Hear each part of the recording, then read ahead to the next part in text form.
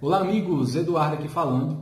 E hoje eu venho falar aqui para você que perdeu o auxílio emergencial, o auxílio 600, o auxílio 1.200 reais do governo. Você que se cadastrou no aplicativo, no site da Caixa e você teve o seu auxílio negado e você não concorda com essa negativa do governo, pois você entende que você se encaixa no perfil das pessoas que têm direito. Se você é essa pessoa, continue assistindo aqui o nosso vídeo nós vamos trazer aqui uma informação relevante.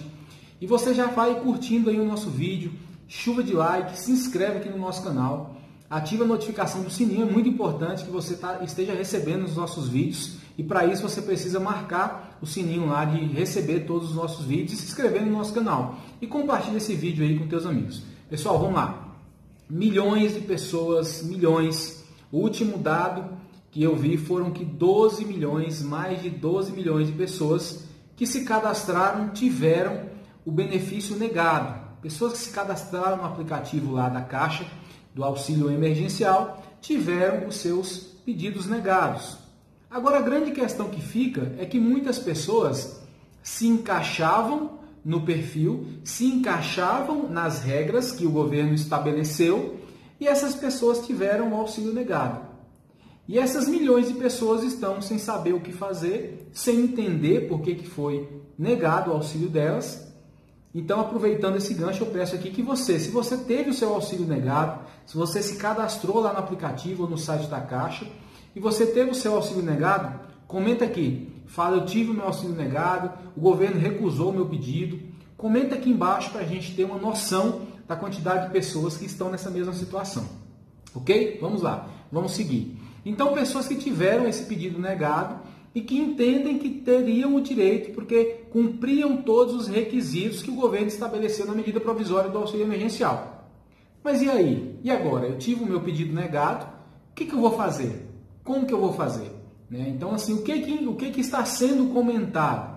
Que o governo, primeiro que, né, é interessante a gente voltar um pouquinho aqui e trazer uma reflexão. Vocês concordam comigo que o governo está totalmente perdido na condução, na, na distribuição, né, no pagamento do auxílio emergencial. Então o governo está muito perdido. Eu gravei um vídeo aqui nesse canal também falando sobre as pessoas que iriam receber a segunda parcela agora em abril e o governo anunciou que não tem dinheiro para pagar a segunda parcela. Então olha só. Então vocês concordam comigo que o governo está desorganizado, ele não está sabendo conduzir né, a entrega desse auxílio para as pessoas e as pessoas estão precisando, as pessoas estão sem o que comer em casa. Então, assim, o governo está errando. Tá? Não, não venhamos aqui falar de política, de presidente Bolsonaro, não, é um, é um contexto, é um, é um complexo de órgãos que, que administram tudo isso é sobre a responsabilidade do presidente, mas está desorganizado. Mas vamos voltar aqui. Então, o que, que, tem que se, o que, que se tem comentado? É que essas pessoas que tiveram o seu auxílio negado, mesmo com é, se enquadrando nos, nos, nos pré-requisitos que foi divulgado na medida provisória, essas pessoas que tiveram essa condição aí do auxílio negado, o governo, né, futuramente, posteriormente, irá lançar uma nova, um novo período, um novo calendário de cadastramento para essas pessoas.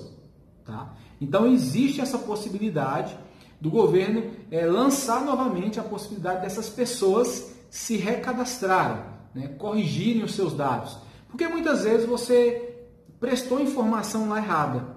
Muitas vezes você teria direito, mas a, ah, por alguma falta de conhecimento, ou às vezes não entender como funcionava o processo, às vezes você se cadastrou e prestou informações é, equivocadas, digamos assim. Então você pode ter sido recusado por conta disso. Então o governo, posteriormente, né, pode ser, né, o que vem se falando é que ah, teria essa possibilidade de lançar um novo calendário para essas pessoas se cadastrarem. Tá? Então, existe aí essa possibilidade e você deve ficar aí atento tá? para que você né, não perca essa nova chance, essa segunda chance. Então, vamos aguardar, vamos esperar o governo se organizar, pois a bagunça está generalizada, o dinheiro acabou para pagar a segunda parcela, então nós vamos ter aí próximos capítulos dessa história e o povo vai continuar aí, pessoas que estão precisando vão continuar sem receber. Meus amigos, era isso que eu vinha trazer aqui para vocês. Se você gostou aqui do nosso vídeo, eu peço que você se inscreva aqui no nosso canal, que você ative a notificação do sininho, que você dê aquela chuva de like aqui para gente e que você compartilhe esse vídeo com o máximo possível de pessoas, ok? Grande abraço, fiquem com Deus. Tchau, tchau.